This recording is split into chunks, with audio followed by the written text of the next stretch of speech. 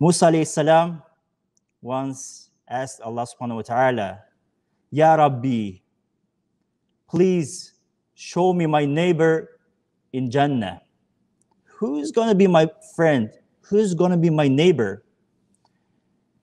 Allah subhanahu wa ta'ala explained him, described him a man who works as a, as a butcher and sh- explained him the place he's living. Musa will go there, observe, and wait till late evening. And then when a man will finish his work, he'll put one piece of meat in his bag and will head his house. And Musa will come to him and say, I would like to be your visitor. I would like to be your visitor. And that young man accepted his offer. And they together went to his house.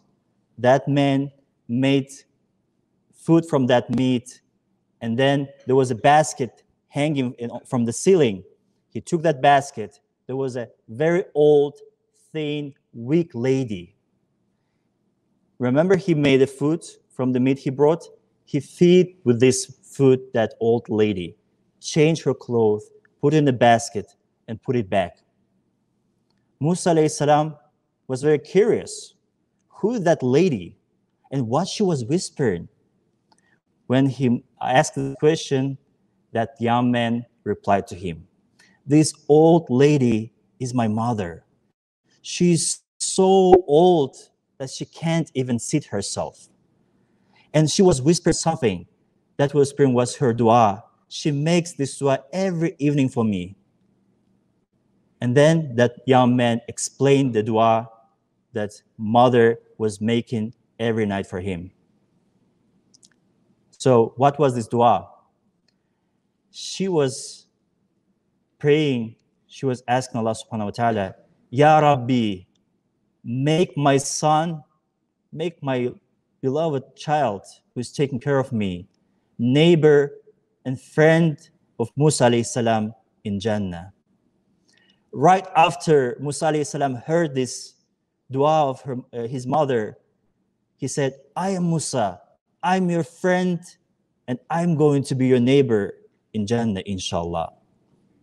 So, even from this example, we can understand that dua and prayers of our parents has a great importance.